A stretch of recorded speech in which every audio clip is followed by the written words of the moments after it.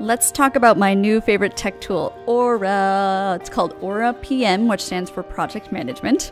This is an actual quote.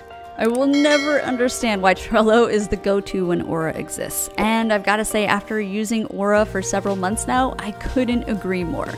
Ora has become my perfect and go to tool for every single task, and it is completely free. So, without further ado, let's dive into the best features and start digging into what makes this tool so powerful. The first thing you'll want to do is go to ora.pm, that stands for Project Management, and we're going to sign up for an account.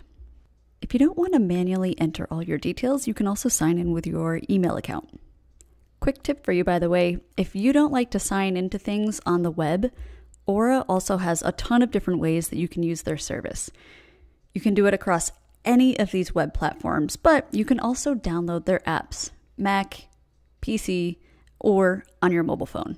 I actually access Ora on both Chrome and through the app on my Mac. They both work exceptionally well and they both look very similar. One of the best things about Ora is that it's cloud based.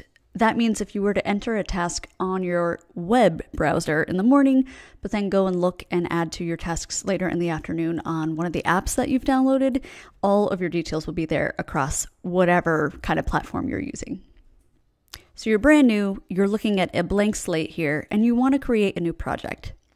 Think of your projects as the overall theme of the thing that you're going to be working towards.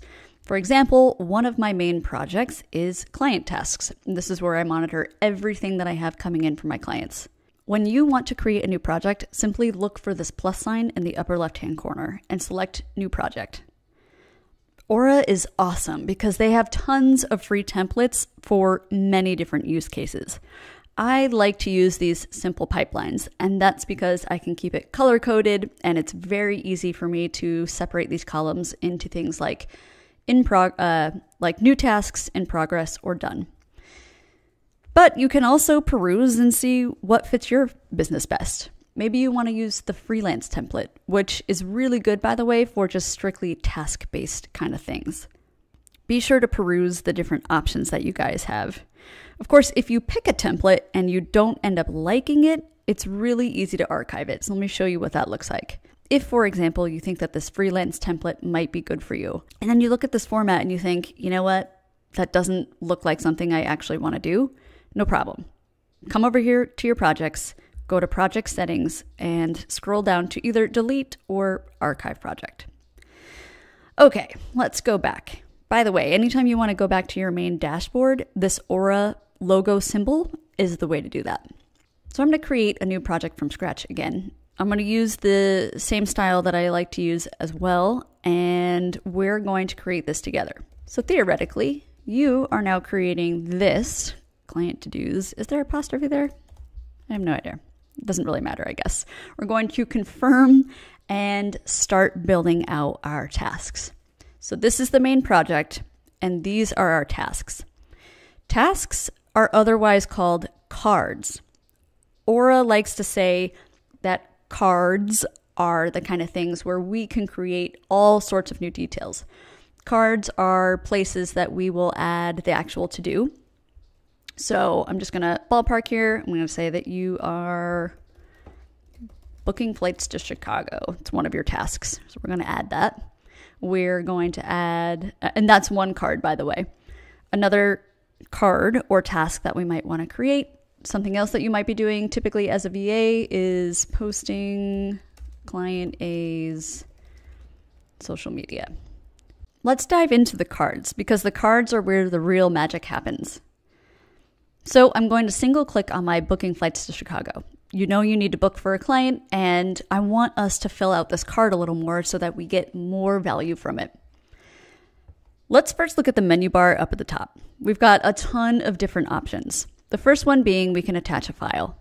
File attachments are great, especially when it comes to tasks like posting on behalf of a client on their social media accounts. That's because you can attach a picture or anything that they want attached to their social media. You can attach notes, links. There's really no limit for what kind of stuff you can attach. That way, when you get back to doing this task at a later time, you can simply you can basically get all your attachments right here on this card instead of hunting and fishing through different emails, different notes, different things that you may have left here and there. So attachments are great. The second thing I love so much are labels. You can create any and as many labels as you want. I like to create labels for different client names. That way I can that way when I label the stuff that I'm working on, I know really quickly just by eyeballing it who I'm working on um, because it's color coded. You might have five different clients. What we're going to do is basically keep adding labels. So these would obviously be the names of your clients. Um, you'd also, of course, don't have to do names. You can label anything you want, but names for me are, are my usual go to. It's a really quick way for me to kind of get a ballpark view for who I'm working with. Uh, you can also change the color scheme. So this is really um, totally up to you. Like I said, it's pretty customizable. So let me show you what this looks like. I've labeled booking flights for Chicago for client A because that's who needs to go. When you get back to your project overview, I can very quickly see that, you know, client A is the one that I'm booking travel for. And then I can do that for this person too. So, super, super easy way to utilize labels.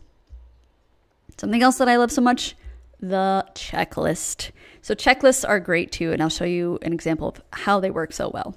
So, you add checklists right into the card itself. So, we're going to do travel details.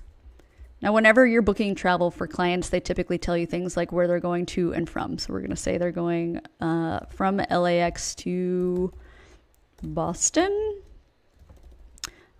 And we're just going to pop in some fake dates. And okay, so you get the gist of that. You can add as many details as you want for this kind of checklist. I'm going to X that out, come back in, just to show you, by the way, that there's no save button. Whatever you type in here or change, it's automatically saved. So as soon as you X out, everything is just saved as you have typed it. We hide these. Okay, so soon as you've actually done something, so you've put your to do down for travel, you've gone and you've actually um, sent the, the flight options, you've done your research, your client's picked one, all good things. So then you can simply check it off. And you'll see that you've completed one of three tasks. Check, check, check. If you want to see what you've already done, there's a very simple way to bring those tasks back. That way you can already see that you've basically done everything you need to do. Okay, and of course, if you uncheck, this um, reverts to just show you how much you've actually completed. This right here is totally irrelevant to us. This upvote is pretty much for teams.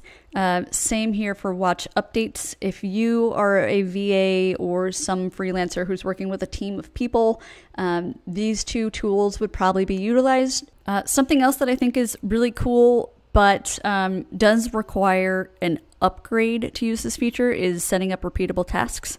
So, not a big deal for me. I don't typically set these up, but if you do have repeatable tasks that are exactly the same week by week, what you could actually do is set this up. You set the parameters. So, for example, uh, perhaps you do post to a social media's webs- uh, website or social media on a weekly basis, and you do want to set this up as a repeatable card. You would set up the details here and click Start Task. So we would actually need to upgrade here. I want to say that an upgrade is maybe $6 a month. But again, for you and I as solo people, not a huge deal. Other things you can do under here as well is save as a template. So if you're doing a lot of travel booking or you've created a card that um, is really useful to you and you're going to use again and again, you'll definitely want to save that as a template. You can also duplicate, you can archive it, you can delete it, all that good stuff. I hear your questions already. You're thinking, what do I do if I'm done with a task? Very simply, you're going to click and drag your task from card to card. So we're doing, as in we're working on client A's travel, and then we're done, as in everything is booked. Don't even worry about it. Um, you can also add as many different subheadings as you want. And if you don't dig this view, you actually can simply double click and that minimizes everything. So it definitely gives you a cleaner viewpoint. A couple more things I want to draw your attention to as you go back into the cards You can expand your view so that you keep a list of your to dos over on the left hand side while enlarging one of the to dos you're working on on the right hand side. So, this is just a different viewpoint, so you can enlarge or shrink that back down. One last thing I want to draw your attention to is that if you do decide to upgrade to a paid version, there is one more perk that I think comes with the paid versus the free account. One, you can plan some of this out. So you can basically map out on your own calendar when you want to work on a certain task or project. You can set yourself deadlines. So uh, if you know that you have this project to do at a certain time, you set your deadline, you set the date. And then last but not least, one of my favorite things is that you can track your time right within Ora itself. Something that makes this so powerful is that it basically renders time tracking tools obsolete. You don't need to worry about tracking on a different website. There's nothing else to open. You start, you pause, you stop your track time. You can also manually enter your hours. Um, so, for some reason, if you do forget, you can simply type in your start time and uh, make amendments that way. This is particularly helpful if you are an hourly virtual assistant or even if you're new, it doesn't really matter if you're working on a monthly flat fee. Tracking your time is a really great way to kind of gauge how fast you are, how efficient you are at certain tasks, or even how long certain tasks take you. So, having this um, automatic tracker within the cards is great so that you know, hey, travel tasks typically take me two to three hours. Um, so you'll know basically how to plan about your day. Uh, so trackers and timers can be very, very powerful. But alas, that tracker is absent on the free version. So, something to consider. Of course, there are other trackers. So, if that's not a big deal to you, or you have a tracker that you already use, like Harvest, for example, then don't even worry about it. Last but not least, you can add comments to yourself. Comments are great. Uh, uh, by the way, again, you can add attachments, you can add voice memos, you can add videos, you can add GIFs if you wanted to make yourself happy. Um, but comments are great too because when you're working on a task, if you don't have time to finish it, or you're working on something on a Friday and you come back on a Monday, you can always write things about where you left off. I consider these comments as um, a little memory jog, if you will. I hope you guys enjoyed this quick tutorial. Ora is free, easy to use, it has great UX design, it is a great option for very simple task and project management, and for the most part, I think the free version is more than sufficient for most freelancers and virtual assistants like you and me.